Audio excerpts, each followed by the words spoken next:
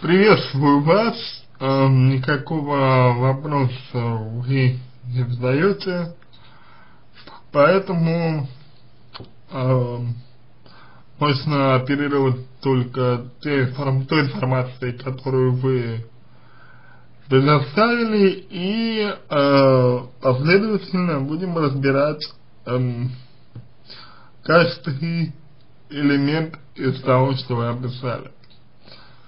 Ну, во-первых, во-первых, так,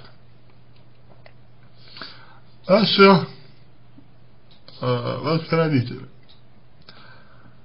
как вы говорите, э, то, что ваши родители развелись э, в детстве вашем, и, собственно говоря, сейчас э, вы живете с бабушкой.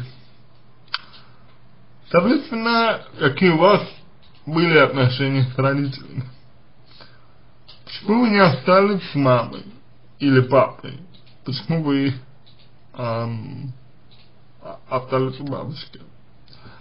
После того, как ваш отец погиб, почему вы э, опять-таки не остались с мамой, почему братья, которые, как я понял, жили с ним, э, были отданы в детский дом? А не с мамой. То есть, вот, не очень понятно, почему так произошло, где, где ваша мама и как вы с ней вообще взаимодействовали. Какие вас были отношения с братьями и, и почему, что мешает вам сейчас с ними общаться? Ведь если их набрали в семью, значит у них есть э, необходимое обеспечение, у них есть э, все нужное и так далее.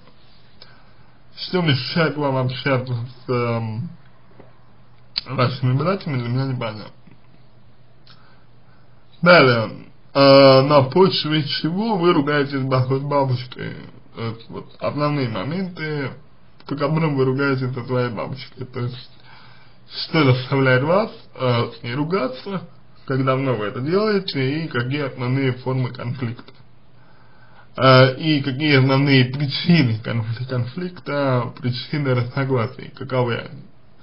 Дело в том, что uh, бабушка вам ругаться не стоит, uh, переделать вы ее все равно не сможете, она человек уже пожилой и хочет вам, скорее всего, добра и добра, так как она это поним, понимает. Хорошо ли, плохо ли, не так. Важно, важно, что именно она называет вам добра именно в той форме, в которая для нее наиболее приемлема.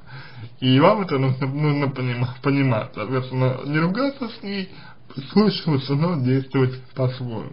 А вот почему вы с ней ругаетесь, почему именно ругаетесь, почему именно она, получается, выводит вас на эмоции.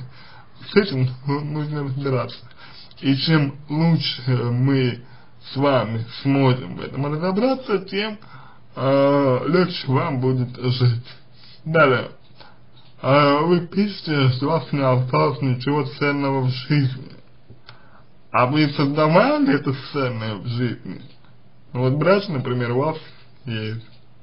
Вам никто не мешает с ним поддерживать диалог. Ага, папа, который, который погиб, но с ним вы не жили, получается. Как, как насчет ваших друзей, как насчет а, ну, вашей личной, личной жизни, как насчет вашей профессиональной жизни, как насчет ваших самостоятельных ценностей и приоритетов, какие они. А почему, почему вы вообще а, считаете, что ценного ничего в жизни нет? А что? Для вас есть суть ценного.